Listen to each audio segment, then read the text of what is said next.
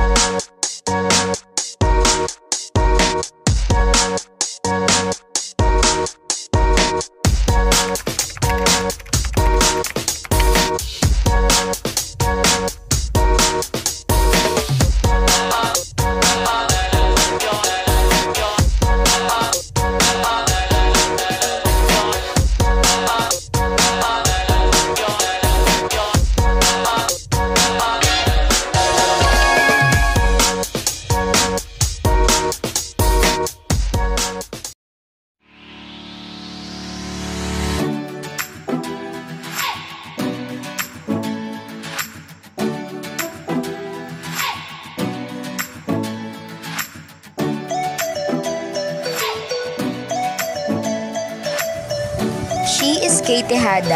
and she will discuss about the life and background of Immanuel Kant.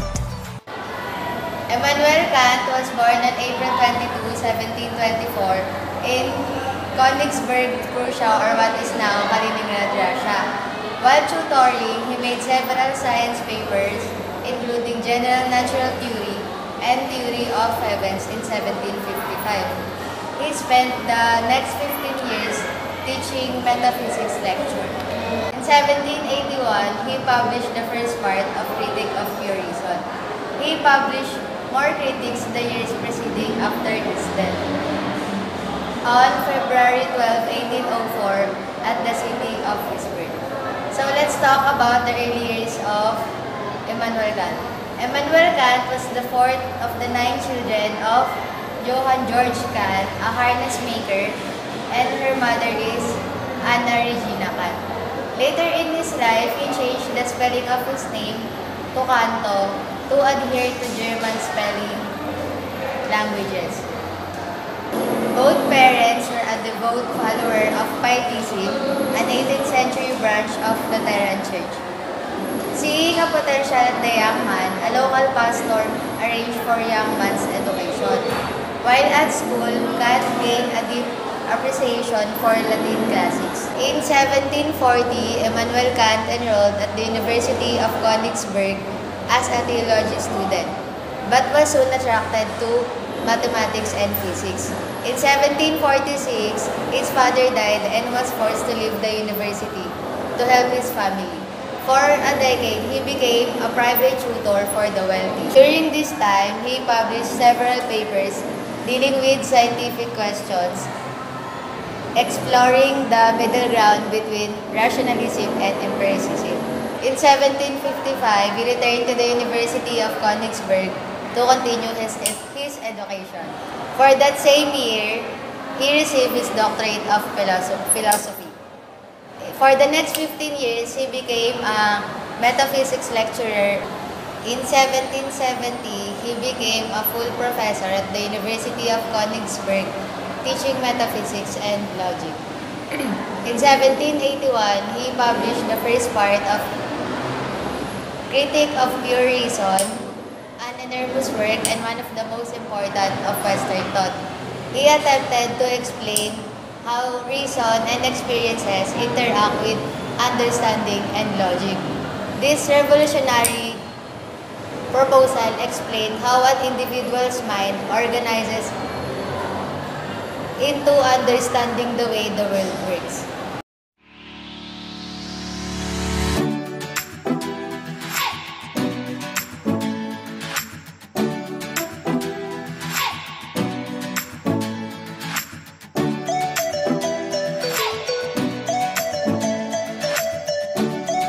Lovely Portosa will discuss about Kant's moral philosophy and categorical imperative. Kant's understanding of moral principle has been central of discussion of morality from his time forward. His moral philosophy was a philosophy of freedom. Without human freedom, moral principle and moral responsibility would be impossible. Kant believes that if a person could not act otherwise, then his or her actions has no moral worth. Further, he believes that every human being has endowed with conscience that makes him or her aware that the moral law has authority over them. Kant calls this as a fact of reason and he regards it as a basis for a belief in human freedom. Sabi rin ni Kant na ang mga nangyayari sa atin or mga desisyon natin in the present ay resulta lamang ng mga past events or mga ginawa natin ng mga nakaraan or sa past natin. Kasi kumbaga natuto na tayo sa ating mga experience, kaya ang mga natutunan natin sa experience natin in the past, hindi na natin pwedeng ulitin or pwedeng baguhin natin yon in the present. So parang ah, connected lang ang past and future or ang present natin at yung mga ginagawa nating actions ay magkakakonekta lang. So, ah, hindi, da, hindi daw kinoconsider ng mga tao ayon kay Kant ang consequences ng mga ginagawa nilang actions kundi ang mga prior events. Immanuel Kant, unlike Mill, believed that certain types of action, including murder, theft, and lying, are strictly prohibited, even if they would bring more happiness than the alternative. For the followers of Immanuel Kant, or what we call the Kantians, we should ask two questions when we are doing our actions. Ayon kay Kant, the first question na dapat nating tanungin sa ating mga sarili before performing the action ay, Can I rationally will that everyone act as I propose to act? Ang ibig sabihin lamang ni Kant sa katanungan na ito, dapat nating isipin bago natin gawin ang isang action na kung gagawin ba ng nakararami ito ay maganda ang magiging resulta. If the answer is no, then we must not perform the action. Ang kwa- second question na kailangan nating tanungin sa ating mga sarili ayon sa follower ni Kant ay kung ang mga tao ba ay nare-respeto pa natin or natatapakan pa natin sa mga gagawin nating actions rather than merely using them for our own purposes. Again, if the answer is no, then we must not perform the actions. Immanuel Kant's theory is based on the deontological moral theory. According to this theory, the rightness or wrongness of the actions does not depend on their consequences, but whether on they fulfill their duty or not. Malalaman mo lamang daw na tama o mali ba ang ginawa mo ay kung nagawa mo ng maayos ang trabaho mo. Sinasabi ni Kant na ang categorical imperative ay ang supreme morality or ang nagtatakda ng ating moral duties. Isang example situation sa categorical imperative ay, don't cheat on your taxes. Maaari nating sundin o hindi sundin ang utos na ito galing sa gobyerno. Ngunit kailangan nating isipin na kung, magbabay, kung hindi ba tayo magbabayad ng tax at gagayahin ito ng nakararami, makabubuti ba ito para sa atin o para sa ating bansa?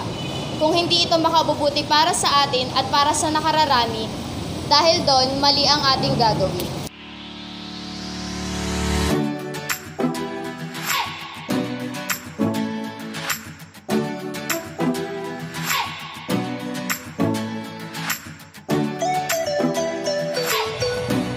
May Mendoza will talk about the Critic of Pure Reason by Immanuel Kant.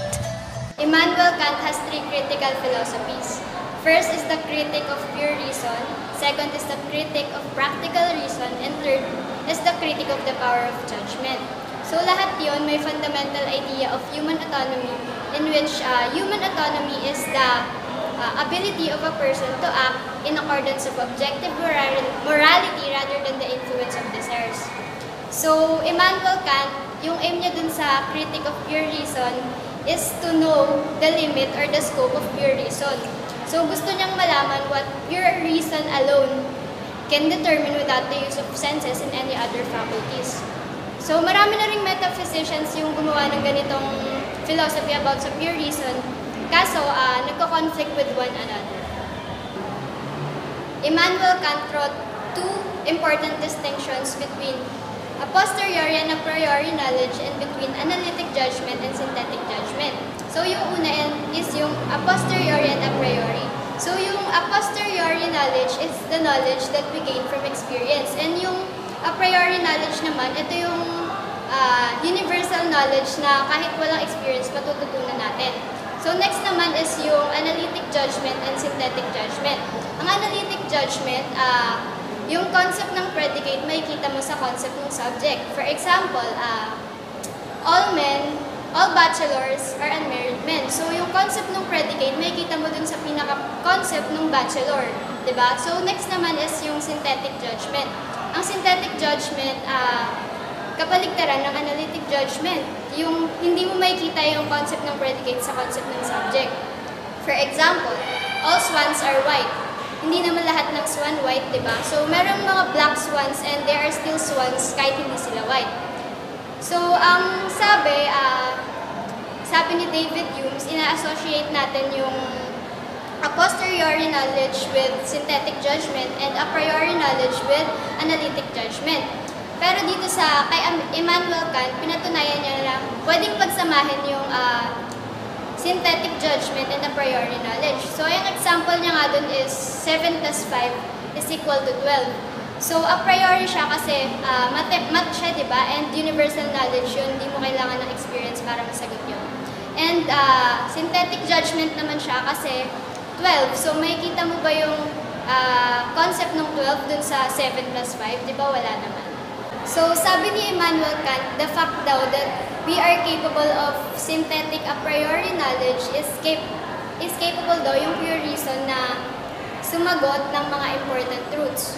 So, ayun, uh, sabi niya rin na yung mind daw natin or yung nape-perceive natin as reality today is nasi-shape daw ng perceiving mind. So, yung mind natin, hindi lang siya nagre-receive ng uh, information from the senses, rather it shapes those uh, it shapes those information pino-point out lang nitong uh, critic of pure reason is that in order daw for our mind to achieve the manipulation of the external world, then we must possess uh, certain categories of understanding outside the sense of experience.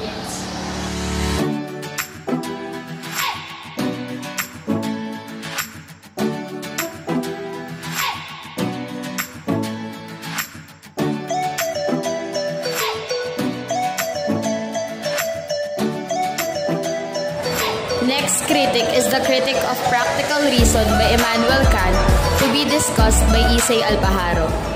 Ang pangalawang critic ni Immanuel Kant ay ang critic of practical reason. Sumunod ito sa una niyang critic na critic of pure reason at ang critic na ito ay nagfo-focus sa moral philosophy.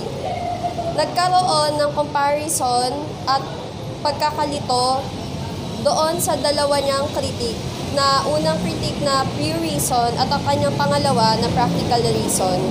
Dahil dun sa una niyang critique, nagkakagulo yung mga tao na paano kung merong dalawang point of view.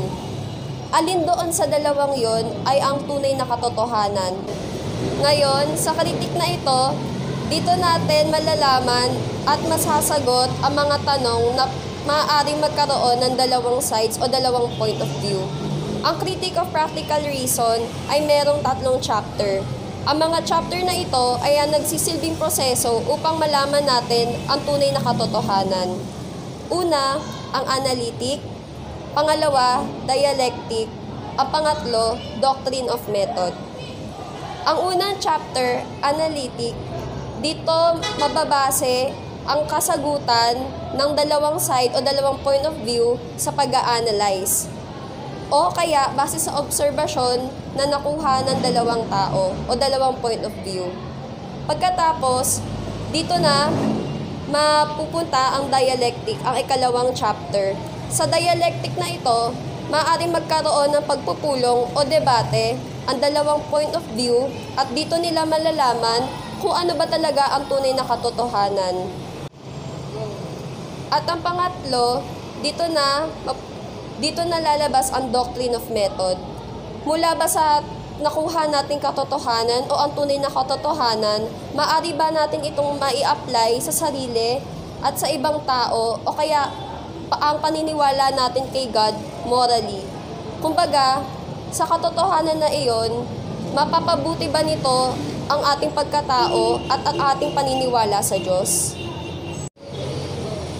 Upang maipaliwanag lalo ang critic of practical reason, magbibigay ako ng example. Ang example na ito ay ang dalawang tao na nagbasa ng isang libro. Mula sa analytic, magkakaroon sila ng sariling interpretasyon doon sa libro na iyon. At ang pangalawa, ang dialectic, base dun sa kanilang interpretasyon, magkakaroon sila ng pagpupulong o debate kung ano ba talaga ang totoong interpretasyon o kaya ang kanilang napagkasunduan base dun sa kanilang nakuha. Pangatlo, sa doctrine of method, tulad ng common na pagbabasa ng libro, ma, pwede natin itong may apply natin sa sarili. Doon ba sa nabasa nating libro, meron ba tayo natutunan na uh, mapupulutang aral? At paano natin ito may, up, may apply sa sarili natin at sa ibang tao? At lalo na sa pananampalataya natin sa Diyos.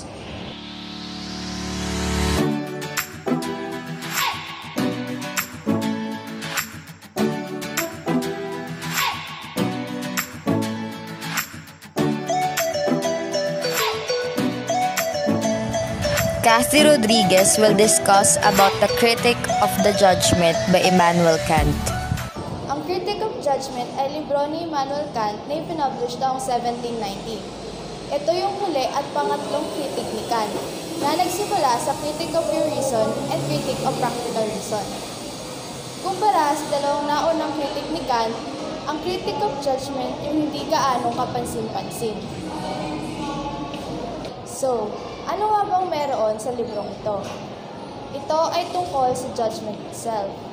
Yung word na judgment ay nangangahulugang power of judgment, which is simply our ability to judge something.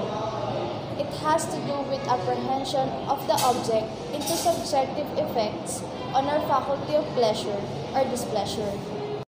Ngayon, nahati sa dalawang parte ang critic of judgment. Una, yung aesthetic judgment. Pangalawa, yung theological judgment. Let's talk about first what is aesthetic judgment. Aesthetic judgment is based on individual subjective feelings, but it also claims universal validity. Ito yung tinatawag ni Kant na subjective universal judgment. May dalawang klase ng aesthetic judgment. Una, yung beauty. Pangalawa, yung sublime. But I will not focus on discussing it kasi si Miss Eunice Arguelles na yung balang magpaliwanag sa inyo sa kung anong meron pa sa aesthetic judgment. So ngayon, I will discuss the second part of critique of judgment, which is yung theological judgment. The word theology came from the Greek word telos, meaning ends or purpose. According to Immanuel Kant, theological judgment is the way of judging things according to its ends or purpose. Halos lahat ng bagay rito sa mundo ay ina-explain through science. Sinasabi lang ni Kant na dapat hindi tayo nagbe-base sa mechanical principles ng mga bagay-bagay. Dapat, sinasama rin natin yung kanilang ends or purpose. Kasi lahat ng bagay dito sa mundo na nag exist ay mayroong natural purpose. Halimbawa, kapag bumili ka ng sasakyan, ang tinitingnan natin is yung laki, size, or yung quality na meron nito. Pero para kay Kant, kaya ka lang naman bumibili ng sasakyan kasi ang purpose nito ay magkaroon ka ng masasakyan. Eunice Arguelles will discuss about Immanuel Kant's aesthetic philosophy. Calls aesthetic judgment judgment of taste and remarks that though they are based on individual subjective feelings, they also claim universal validity. Our feelings about beauty differ from our feelings about pleasure and moral goodness, in that they are disinterested. We seek to possess pleasurable objects, and we seek to promote moral goodness but we simply appreciate beauty without feeling driven to find some use for it. Judgment of taste are universal because they are disinterested. Our individual wants and needs do not come into play when appreciating beauty, so our aesthetic response applies universally. Aesthetic pleasure comes from the free play between imagination and understanding when perceiving an object. Kant distinguishes the beautiful from the sublime, When the appeal of beautiful objects immediately apparent, the sublime holds an air of mystery and ineffability. While a Greek statue or a pretty flower is beautiful, the movement of storm clouds or a massive building is sublime. They are, in a sense, to great. Kant argues that our sense of sublime is connected with our faculty of reason, which has ideas of absolute totality and absolute freedom. While storm clouds or massive building might stretch our minds, They are nothing compared with reason's ideas of absolute totality and freedom. Apprehending sublime objects puts in touch with these ideas of reason, so that sublimity resides not in sublime object but in reason itself. While much of what Kant writes about aesthetic might, might strike us now as a bit dated, his work is historically very significant. Kant's third critic is one of the early works in the field of aesthetics, and one of the most important treatises on the subject ever written. Aesthetics differ from literary criticism and art criticism, which have existed for millennia. In that, it attempts to explain not only why things are or are not beautiful, but also the concept of beauty and how the perception of beauty arises in us. The considerable task of making room for the concept of the beautiful and the sublime in the complex account of the mind he gives in his first two critics. Unfortunately for Kant, the success of his project can be understood only in the context of his complex and obtuse philosophical system, while its failures, failures are immediately apparent. The close relationship between art and politics, which became clear in the 20th century, casts doubt on Kant's assertion that our response to art is disinterested, and his claim that our sense of beauty is universal make less sense in a world in which we are exposed to the diversity of artistic products of different cultures. Although his work continues to influence work in aesthetics, Kant fails victim to the same problem that touches everyone, who tries to make general claims about art. The very concept of art has great historical fluidity so that we can never nail down for all time exactly what it is.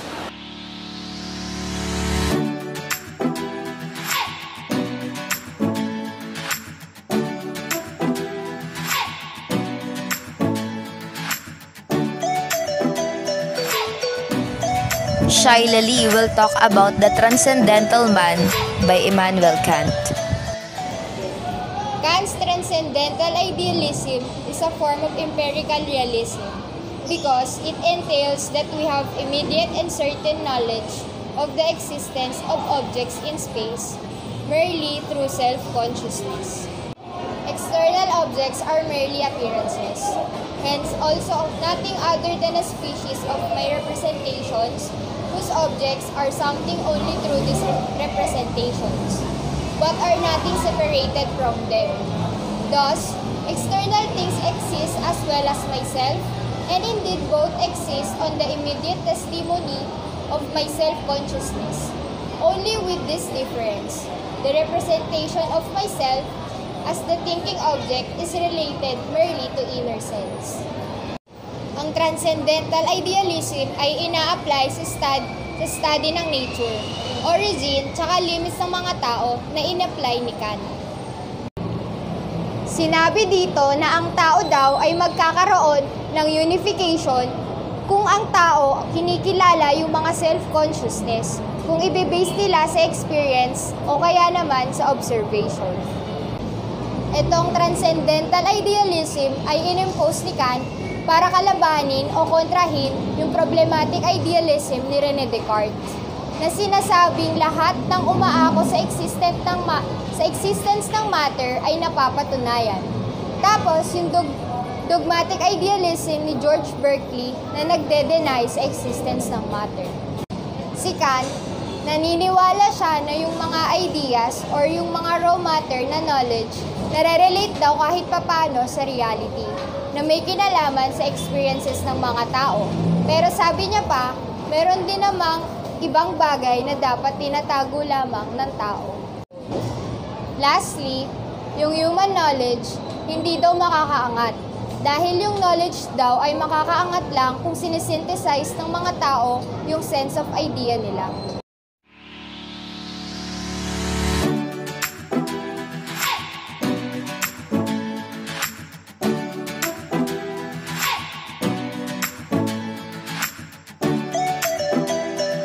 Lastly, Alan Declarado will discuss about the political philosophy of Immanuel Kant. Immanuel Kant's political philosophy is under his practical philosophy. In his essay named um, on the common saying, that may be correct in theory, but it is no use in practice.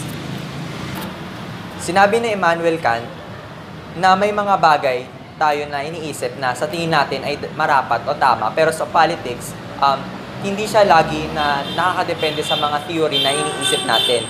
Um, politics is more on practice, no?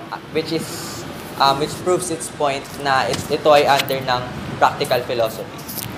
For example, ang mga batas na gagawin ng mga nakaupo ay hindi pa maaaring sabihin nakabubuti sa mga mamamayan o hindi. Dahil una, hindi pa ito na isasagawa at hindi pa nakikita kung ito ay may tunay na benepisyo para sa lahat. Sinabi ni Immanuel Kant na morality ay isang obligasyon sa politika. Pero sinabi niya na hindi ito na i-apply dahil ang may mga ibang tao na hindi na-apply ang moralidad sa kanilang pamamahala sa isang partikular na lugar o bansa. Kunwari, isa akong presidente sa aming klase. Inaasahan na lagi may moralidad sa aking mga aksyon. Pero ayon nga kay Kant, hindi ito lagi na ipapakita. Dahil may mga pagkakataon ng aking mga political behavior ay napapasukan ng aking mga pansariling dahilan. Ayon sa kanyang Doctrine of Right, which is second part of his Metaphysics of Morals, sinabi niya the, the only innate right is freedom. Kasi when one, when one man has his freedom, it can coexist with others. Um, sinabi niya dito na hanggat may kalayaan tayo, wala tayong naapakan iba. Si Immanuel Kant ay may dalawang classification ng government. Ang una ay despotism at ang pangalawa ay ang republics. Ang despotisms ay nangangahulugan lamang na ang mga desisyon para sa isang partikular na lugar o bansa ay nakadepende lamang sa isang um, one body or tinatawag nating majority. Kapag sinabi nating um, despotisms, ito ay kadalasang may uugnay sa mga direct democracy sa ating bansa.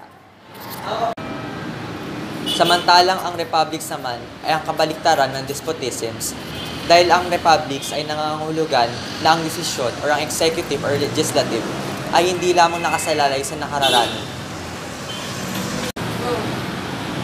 Sinabi ni Kant na pumasok ang mga politicians sa gobyerno dahil may mga gusto silang mangyari na ikasasatisfy ng mga sarili nila. Although morality is an obligation in politics, hindi ito nangangahulugan na ang aksyon ng bawat mga politiko ay nakaayon sa moralidad. Ayon kay Kant, ang isang bansa ay dapat lawful and peaceful. Hindi ito nangangahulugan na dapat may moral improvement na na-implement sa mga mamamayan nito.